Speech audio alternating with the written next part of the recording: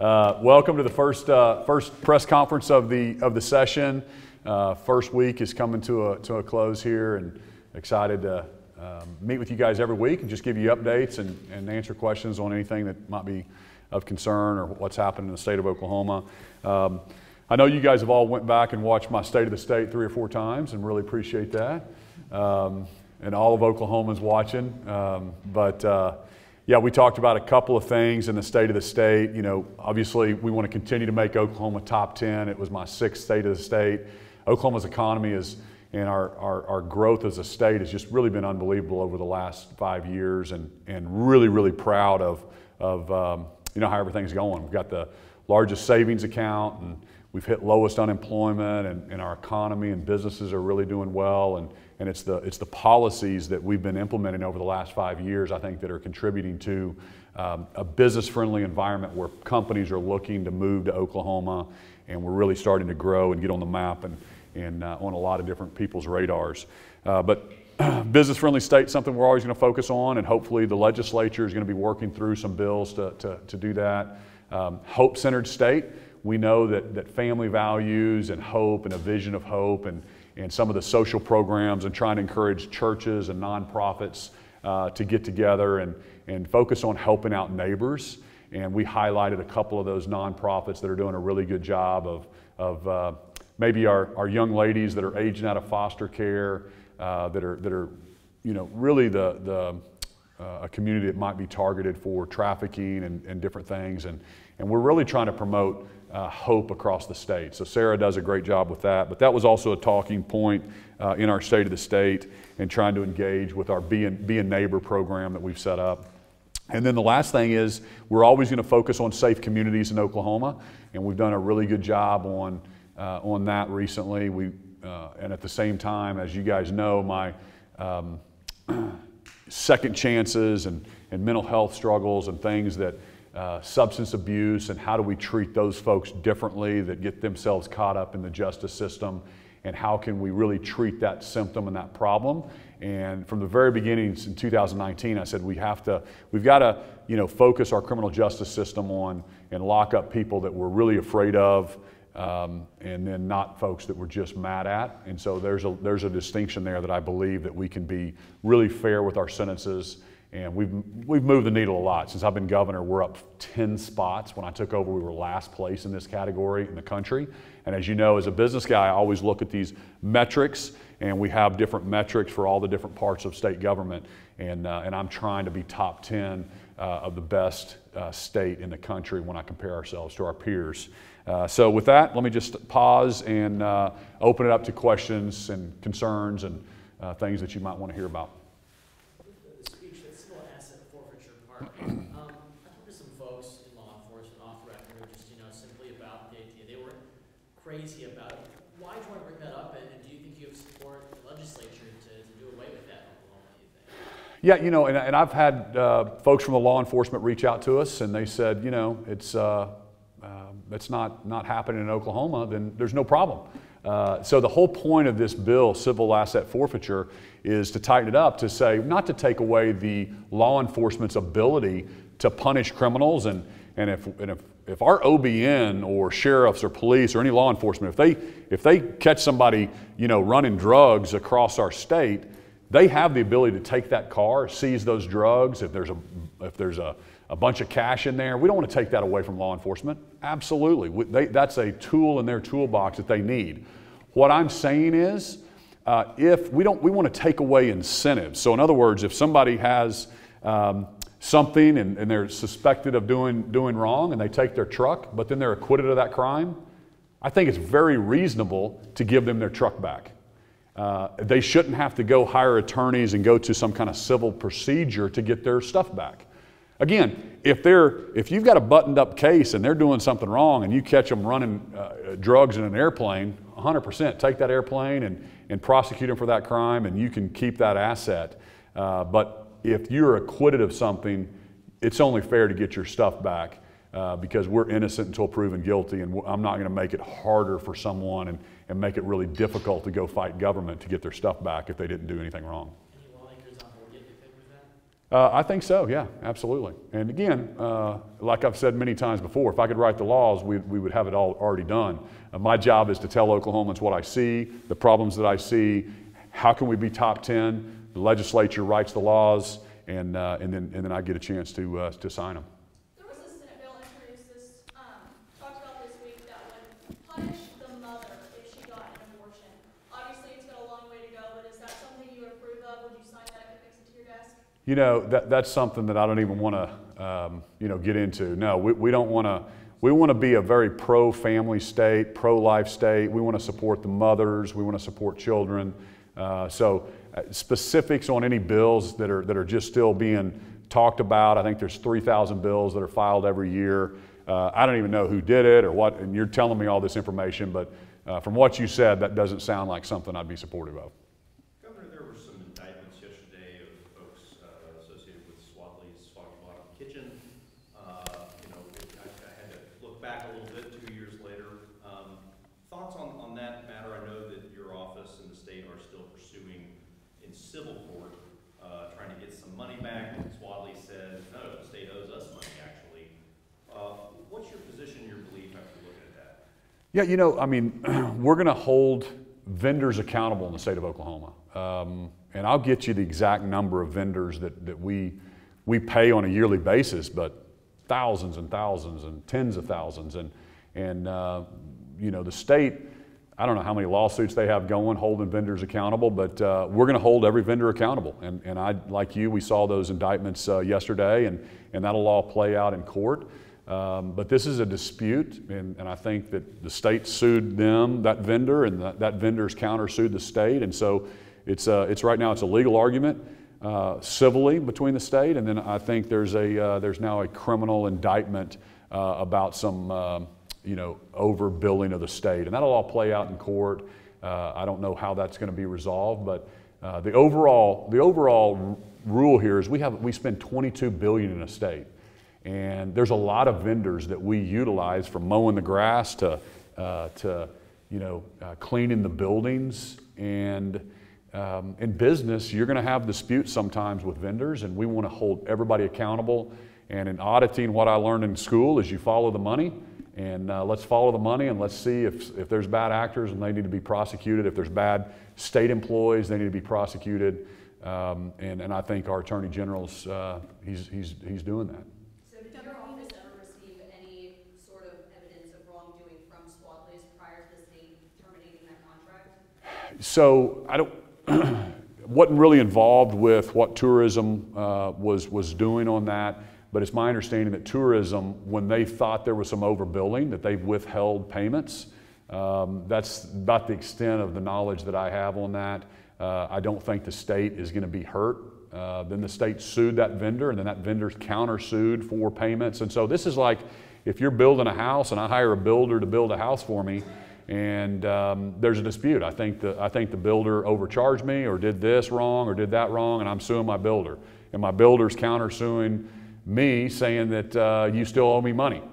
And then now you've got the criminal side that's saying that no, he really did some, he was a bad apple and he got indicted on some things, and then he'll have his day in court and you're innocent until proven guilty. And, and this will all play out over the next, uh, uh, the next few months, I think, and, and we'll have more information about uh, what actually happened on it. But the state will protect its interest against any vendor. And I'll, I'd love to get you all those numbers. We can check with, uh, um, with OMES and see how many vendors the state actually has. I think it'll be surprising uh, how, how much we're actually having to deal with. Governor, you talked to uh, Governor Abbott recently, and, and kind of where are you on the possibility of sending Oklahoma Guard troops down the border? Yeah, I was actually with, uh, with Governor Abbott on Wednesday night. Uh, I was down in, in Houston with, uh, with NAPE, which is an oil and gas industry, and we were on a panel together. Uh, we, we talked about the border just in a few of the questions we were asked from the, uh, from the moderator.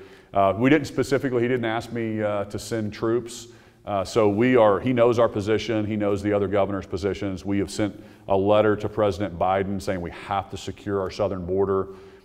We think it's totally in the, in, the, in the sole discretion of the president as an executive to, to secure the borders and, and, and put the right policies in place.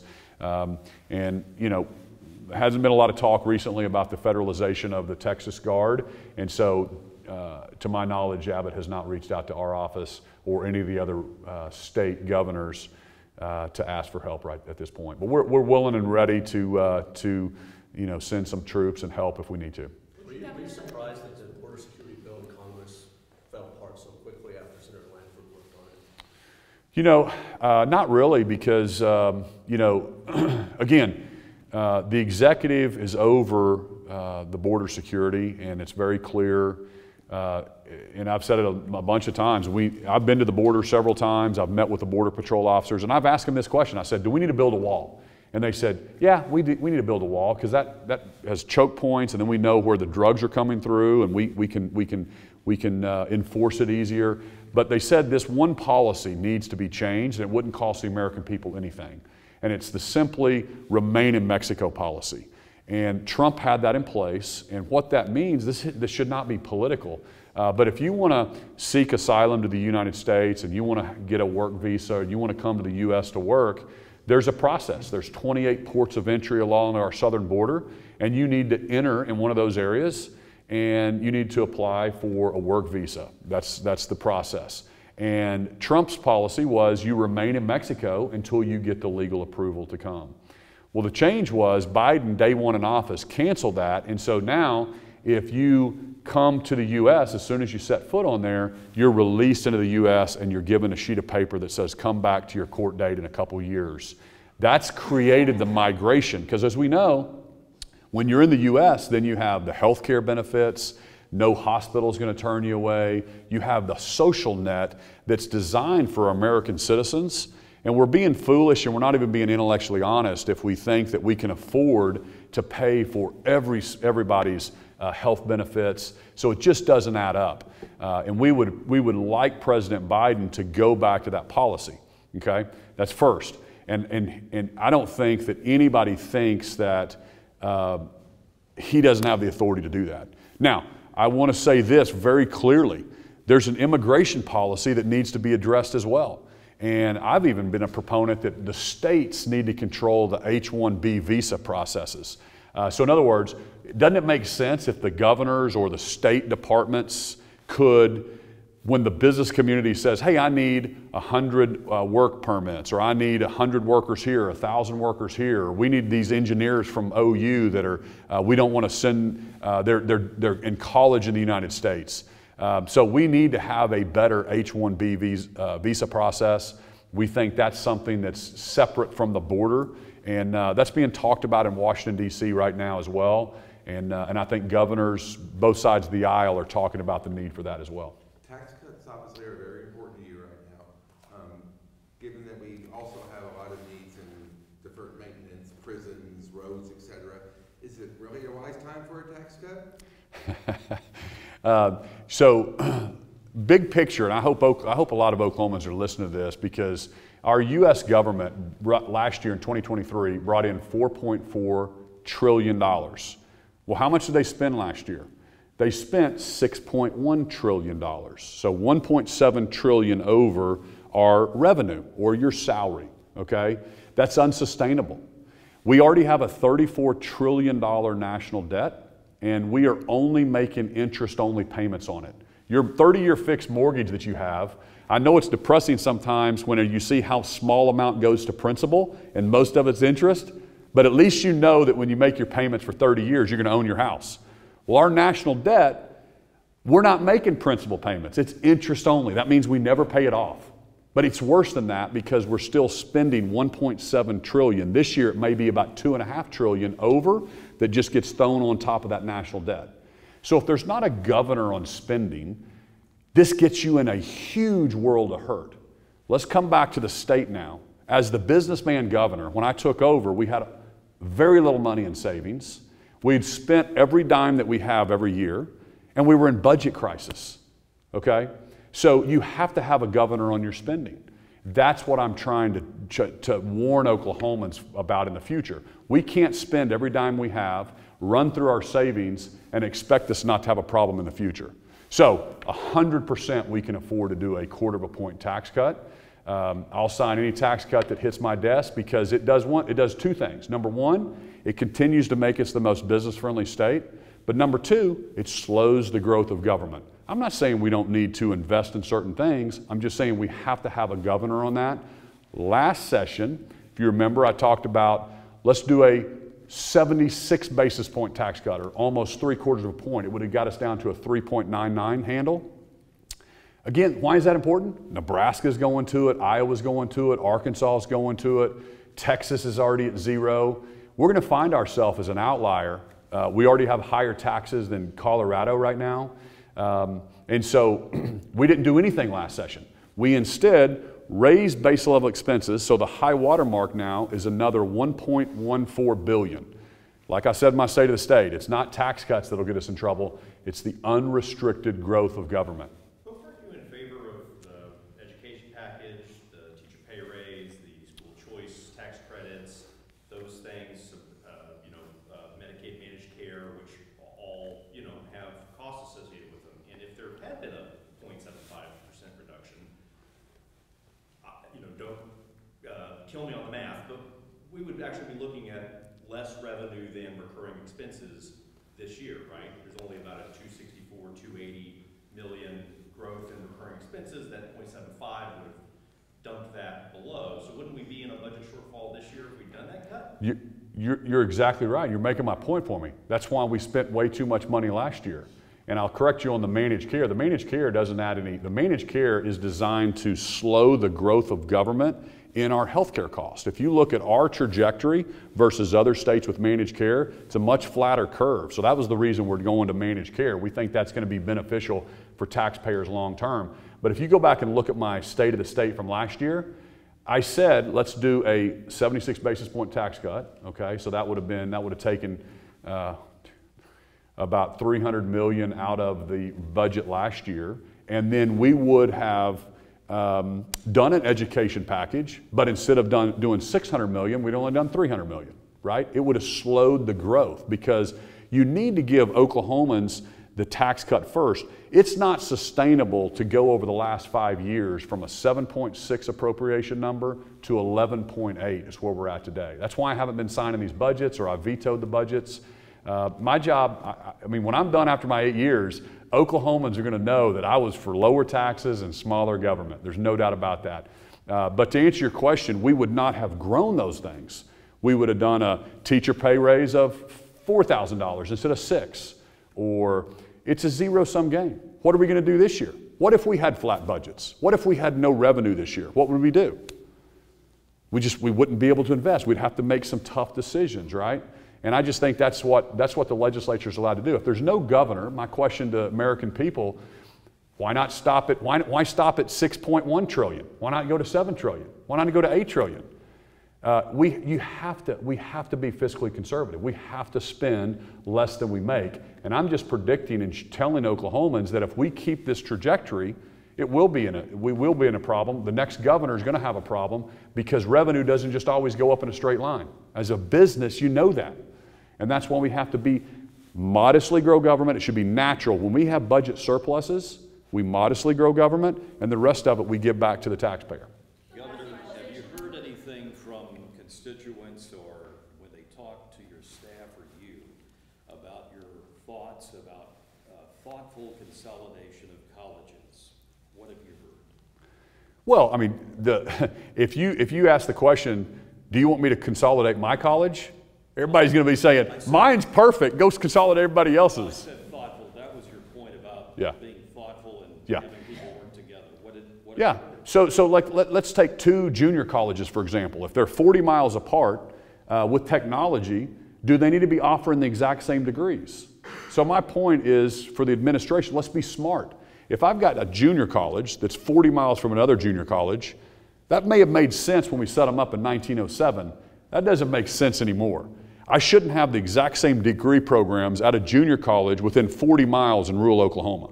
I think everybody would say if we drew this up today, that's not the way we would set this system up. What did your staff, have you heard from people after your speech about that though? What have they said Oh, about that?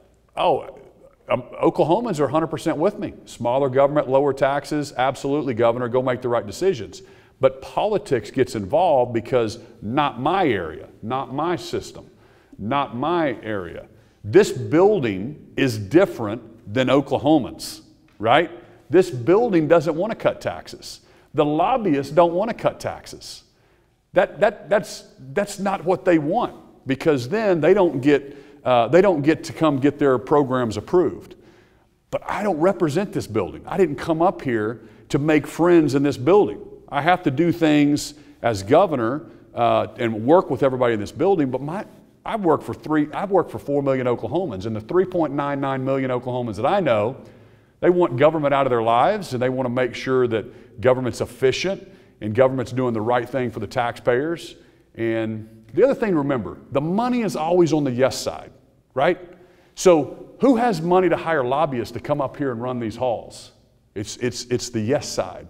It's the people that wanting the programs and wanting the government assistance and wanting this and wanting that. The 4 million Oklahomans, they don't have the money to come up here to say, no, no, no, vote no on that. That's why we have to elect leaders that are here to do the right thing for the next generation of Oklahomans, not just the next election.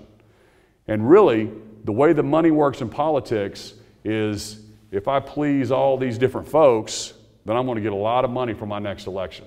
That's what you guys need to be writing about. The Board of Equalization numbers that the um, Senate says they're waiting on to see for the final tax cut are expected to come out this week. Are you hoping they're going to move on that tax cut? Or message to them? So, uh, so are they going to cut taxes if it's a bigger number? Are they going to cut taxes if it's the same number? What, what are they waiting on?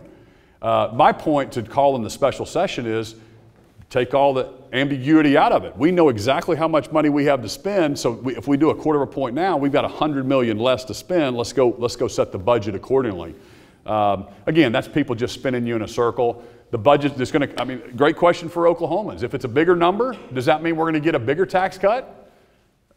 Governor, you said you assigned a tax cut that comes to you. Let's say by chance the grocery tax comes to you first. Will you sign that, knowing that if you sign that, the chances of your quarter percent income tax drop probably not gonna make it? Yeah, I I would still 100% sign it. From the very beginning, I've said, listen, that's the most regressive tax that we have. Uh, but what's weird is that tax is, is about 400 million out of our, uh, out of our revenue. Uh, I would love to get that to my desk because then we'd really have to make some hard decisions about our spending. Um, but how can you afford to do a 400 million dollar tax cut and you can't afford to do a 100 million dollar tax cut? Uh, that, that thing doesn't add up to me. But of course, 100%. If, we, if they put a tax cut on my desk of grocery tax elimination, I, I would absolutely sign that. Thanks, everybody. See y'all next Friday.